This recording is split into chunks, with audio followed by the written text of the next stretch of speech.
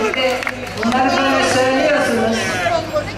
Bakın bunları böyle söylüyorsunuz. Muhteremlerin sinirlerini bozuyorsunuz. Onlar bana sardırıyor. Ani oluyor onlara. Ondan sonra biz karşılıklı askalaşıyoruz.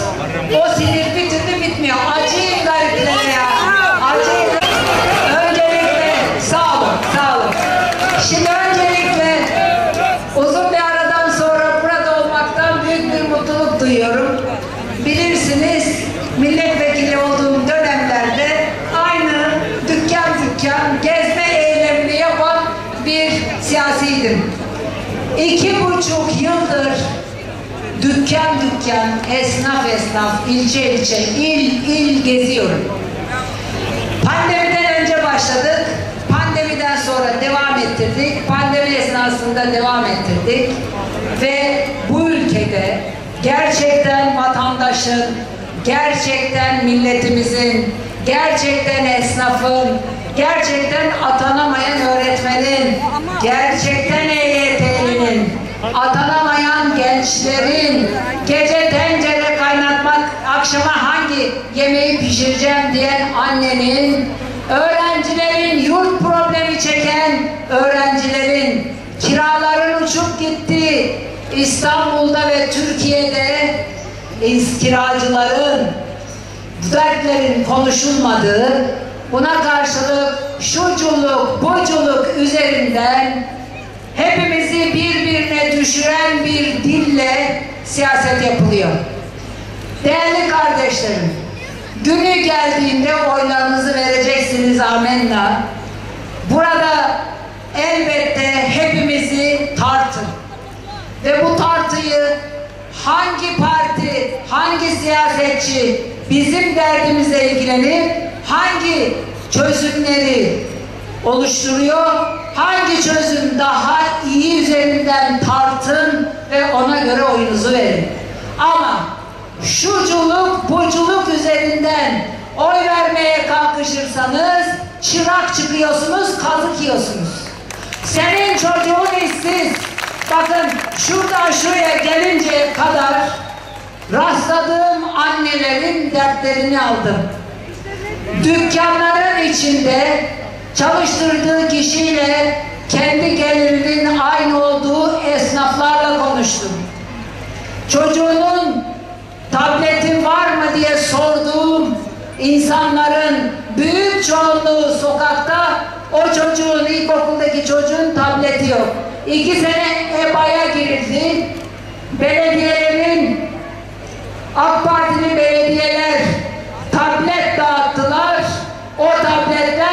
yandaşlara gitti. Tanıdığı olana gitti. Ayısı olana, dayısı olana gitti. Şimdi ne demek istiyorum? Hakkınızı oculukla buculukla gasp ediyorlar. Sizi yün yumaklarıyla meşgul ediyorlar.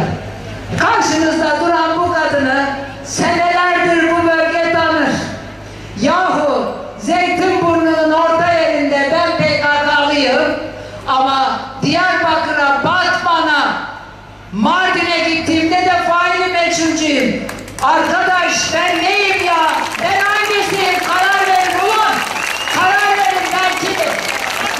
Şimdi ama bakın, bakın ben, ben öncelikle etkileniyordum. Kendi kendime bir söz verdim. Dedim ki yeryüzünün en büyük üç kağıdıyla karşı karşıyayız. Bu üç kağıtların üzerinden yürü, vatandaş görünmesin. Dolayısıyla biz 92 puanla atanamamış gencin acısını konuşmaya devam edeceğiz.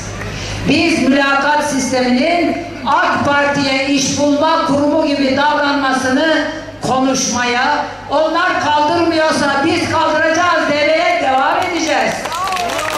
Biz biz 82 puanla 92 puanla atanamayıp 62 puanla 58 puanla atanmış gençlerin yanında ağlayan umutsuz çocukların derdinin peşinde olmaya devam edeceğiz. Onlara çözüm üreteceğiz. Anadolu'yu geziyorum tek tek.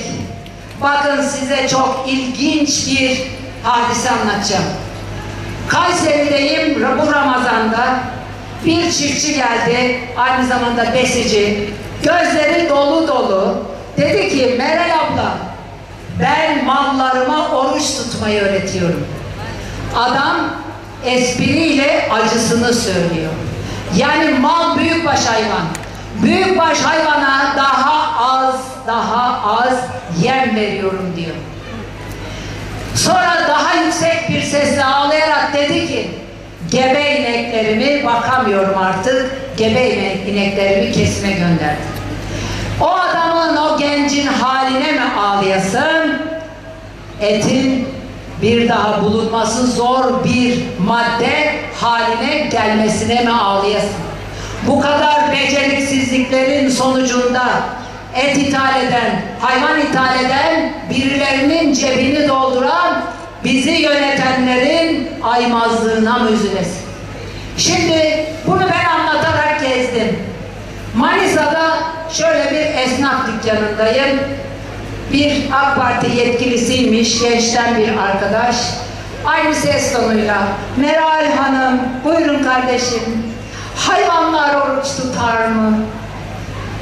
Dedim ki hayvanlar oruç tutmaz da hayvanlara yem vermezseniz işte öyle olur kardeşim. O Kayseri'deki gencin, o Kayseri'deki arkadaşın acısını sizlerle paylaşırken diğer arkadaşın aklına Manisa'da o gelmiş. Bu ne biliyor musunuz? Dinle insanları aldatmak. Rahmetli Yaşar Hoca'nın bir kitabı vardır. Dinle aldatmak. Aa muhterem dedim. Buradaki eksiği gördün ne güzel de ya arkadaş kul hakkı peşinde niye değilsiniz? Sizin patronunuz 24 milyar lirayı Telekom'dan aldı, Hariri'nin cebine koydu cebine. Yahu arkadaş, nereye koydun bunu niye demiyorsun? Senin